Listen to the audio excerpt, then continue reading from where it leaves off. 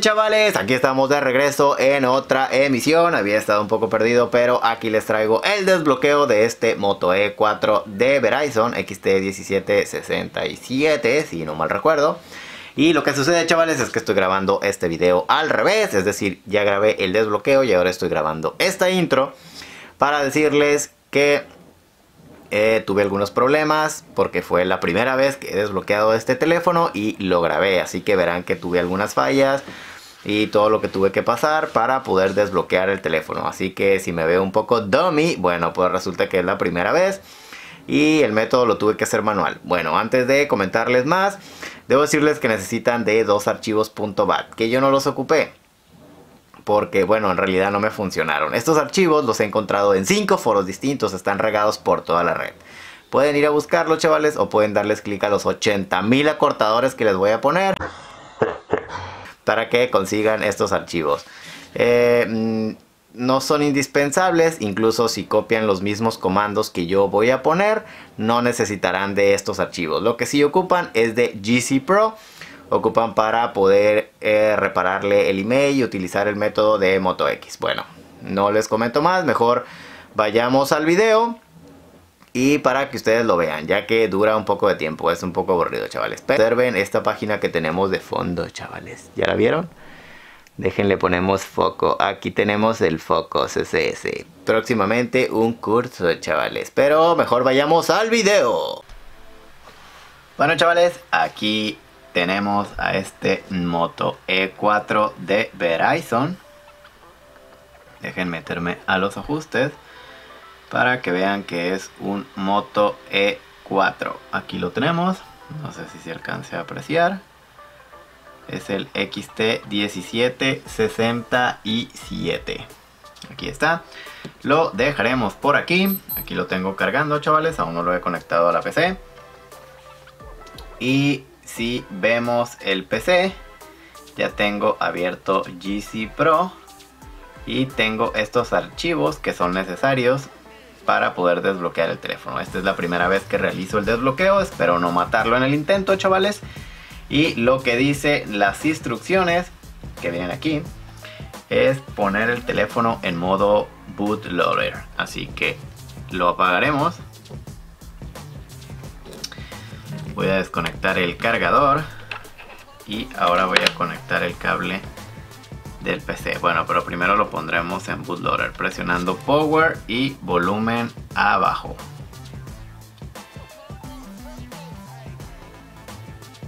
Esperen, algo está ocurriendo que no quiere.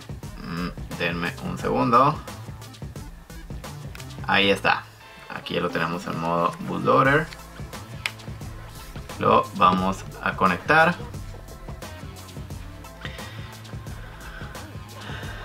y listo lo primero que haremos será correr este archivo que dice first.bat es un archivo por lotes por supuesto vamos a correrlos a ver qué nos sale dice first step done open gc pro Key and Repair Made using Universal Made. Presiona la tecla para continuar. Presionamos una tecla y bueno, ahora entraremos en modo Qualcomm. Pensé que lo reiniciaría ese archivo .bat, pero no pasó. Si queremos ver qué es lo que contiene, vamos a ver chavales en lo que inicia el teléfono. Esperen que esto se pone un poco lento cuando grabo la pantalla. Abrimos un archivo de blog de notas. Y vamos a arrastrar el first. Mm, miren esto, chavales. First open y una pausa al final creo que mm, no me ha modificado estos archivos así que lo volveré a correr chavales como pueden ver aquí le mete estos comandos. Fastboot mm, ok. Incluso flashea este archivo que podemos ver aquí. Y lo reinicia. Voy a volver a apagarlo para correr de nuevo este first.bat porque creo que no me lo ha detectado. Incluso los puedo enviar manual. Aquí lo tenemos de nuevo. Y vamos a abrir el first.bat. Oh, miren esto. El sistema no puede encontrar la ruta especificada. El archivo BAT busca, por supuesto, en la ruta de Windows. Así que mm, vamos a cerrarlo. Y vamos a utilizar los comandos que vienen aquí abriendo. Mm, mm, denme un segundo. Dejen ver si puedo abrirlo desde el CMD. no. Ver si puedo abrir aquí una ventana de comandos sin abrir el PowerShell.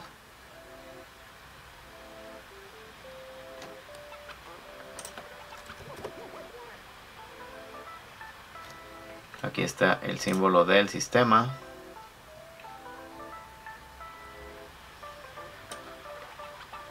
Y ahora necesitamos entrar en esta dirección.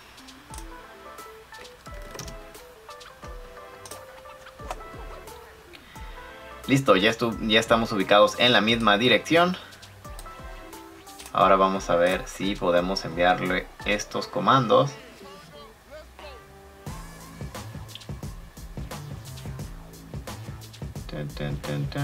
Pero hay una cuestión, chavales. Vamos a copiar esto. Y vamos a ponerle fastboot. Y el comando. Esperen, no se ha copiado.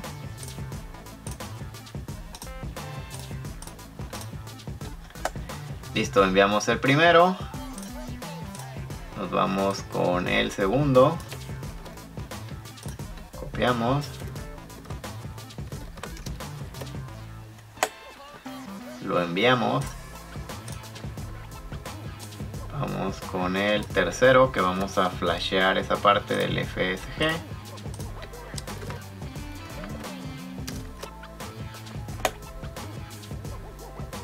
Listo, aquí lo tenemos.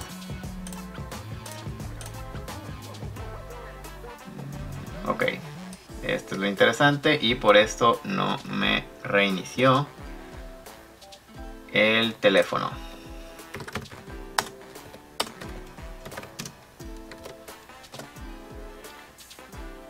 Ok, y por último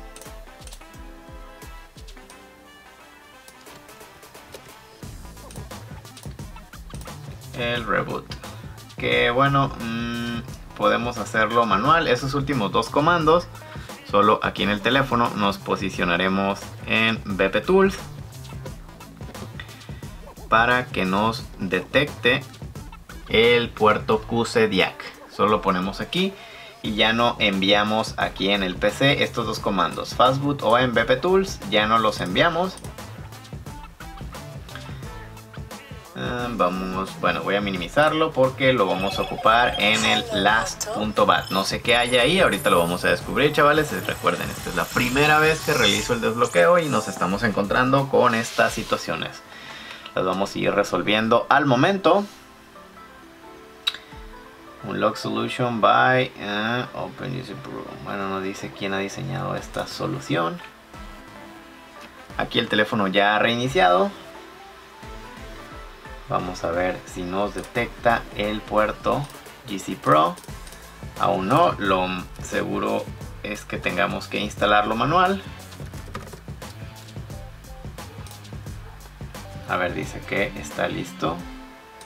Vamos a darle a escanear. Aquí tenemos los drivers pendientes. Vamos a instalarlos manual vamos a elegir aquí, esto lo voy a hacer un poco rápido, bueno a la velocidad que me permita la PC. Vamos a instalarle el QCDIAC, seleccionamos Motorola y este es el puerto, QCDIAC. Me aparecen tres, así que voy a seleccionarlos todos de una vez para no estar adivinando, no sé cuál sea el correcto o el bueno, el que desbloquee al teléfono. Que vamos a configurarlos. Ah, ¿Dónde lo tenemos? ¿Dónde lo tenemos? Se me han perdido los puertos. Aquí. Motorola, QCD port, siguiente, sí.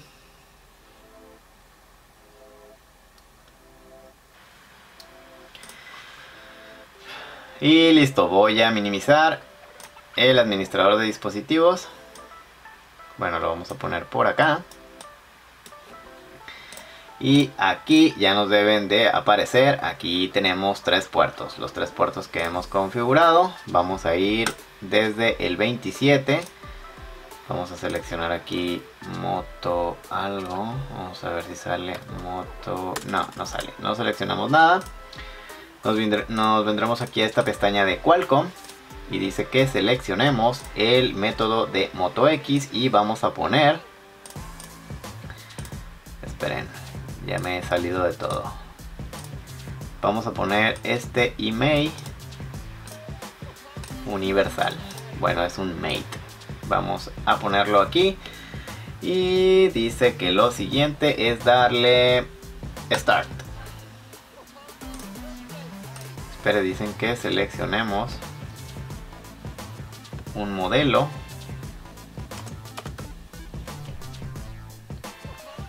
Bueno como no sé qué modelo seleccionar chavales voy a seleccionar el primero. Y vamos a probar a ver qué es lo que sucede. Esperen espero no se haya apagado este teléfono. Y vamos a darle start chavales.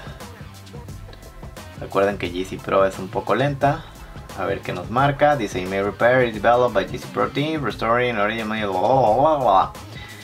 Ok, vamos a darle que sí, estamos de acuerdo, de que sabemos que es un crimen, delito federal, modificar el número de serie. Así que vamos a esperar a ver qué es lo que sucede con este teléfono. Si no, tendremos que cambiar de puerto o seleccionar otro modelo. Dice, do you want to write mate? Um, esto no lo tenía previsto, chavales. Vamos a darle que no. Ok, si le das que no, esto por supuesto que ya no sigue, chavales. Mm, bueno, entonces vamos a darle Motorola un lock. Vamos a esperar a ver qué es lo que sucede.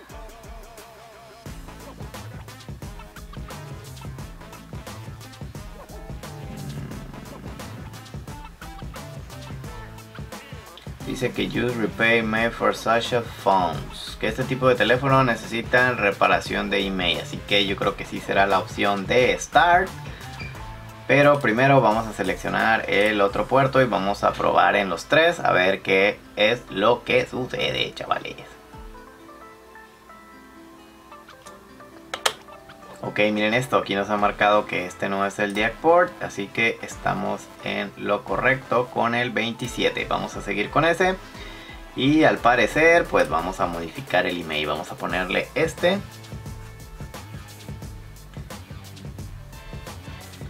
Vamos a darle que sí.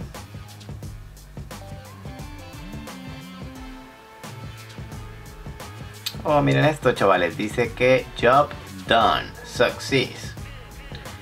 Em, creo que eso es todo hasta aquí. Bueno, ahora llegó el momento de correr el segundo last.bat. Pero antes de hacer eso, vamos a ver qué es lo que contiene, cuáles son los comandos que le va a enviar. Mm, escribe de nuevo el modem, hace unas configuraciones no creo que si lo corra nos dé. Vamos a ver, vamos a ejecutarlo. Y por supuesto que no lo encontró, así que lo tendremos que hacer manual como la primera vez.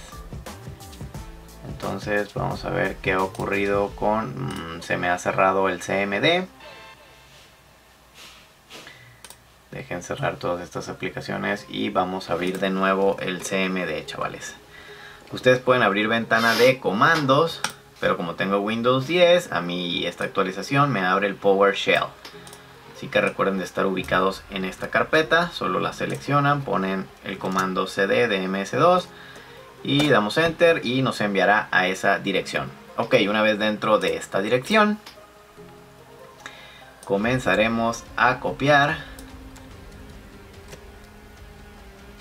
los comandos. Recuerden al principio deben de ponerle fastboot para llamar a ese comando y luego qué es lo que quieren hacer. Vamos a borrar el modem ST1 o esperen un segundo, algo muy importante. Si les sale esto, chavales, es porque no han puesto su teléfono en modo fastboot o modo bootloader. Vamos a apagarlo. Y volvemos a presionar de nuevo power y volumen abajo. Aquí lo tenemos, vamos a conectar.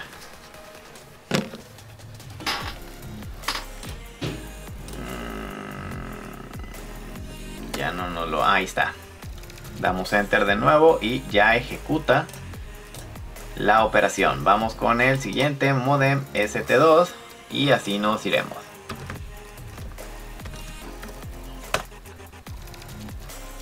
Esperen, algo ha ocurrido aquí, no me lo ha detectado. Ah, esperen, es que no lo he copiado completo.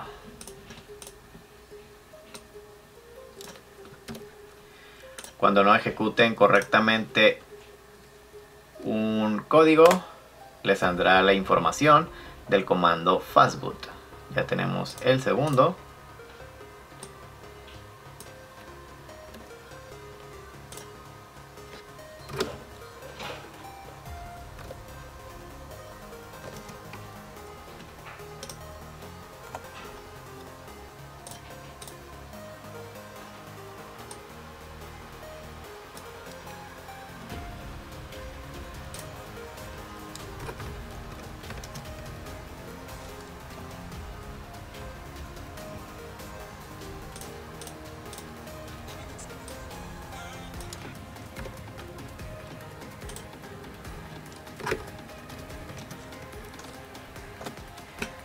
Vamos a borrar los datos de usuario. Vamos a borrar el caché.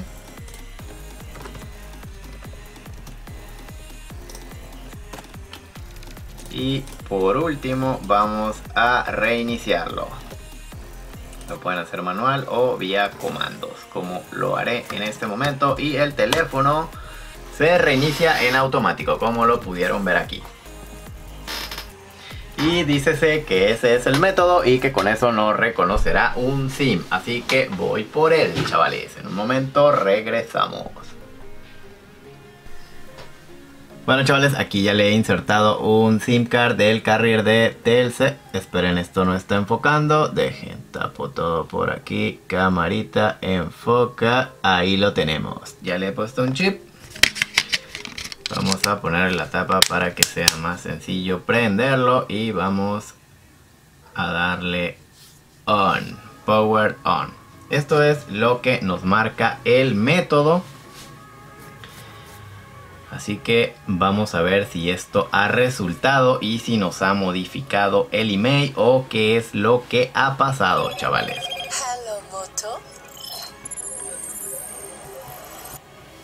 Listo, el teléfono ya encendido. Aquí se alcanza a ver el micrófono de la cámara. Aquí en la parte de arriba dice no service. Vamos a ver si esto cambia, chavales. Esperamos unos momentos. Y listo, chavales. Miren eso. Telcel. Y nos ha activado el 4G en esta partecita de acá. Antes de realizar cualquier llamada, chavales, o cualquier función, después de desbloquearlo, es importante bajar de 4G a 3G para la cuestión de las llamadas. Aquí ya lo he cambiado a 3G. Y vamos a intentar sacar una llamada.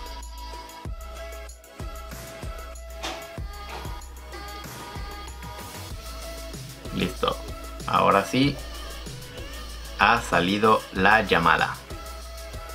Hace unos segundos intenté hacerlo en 4G y no fue posible, solo bajamos a red 3G y esto marca sin problema, chavales.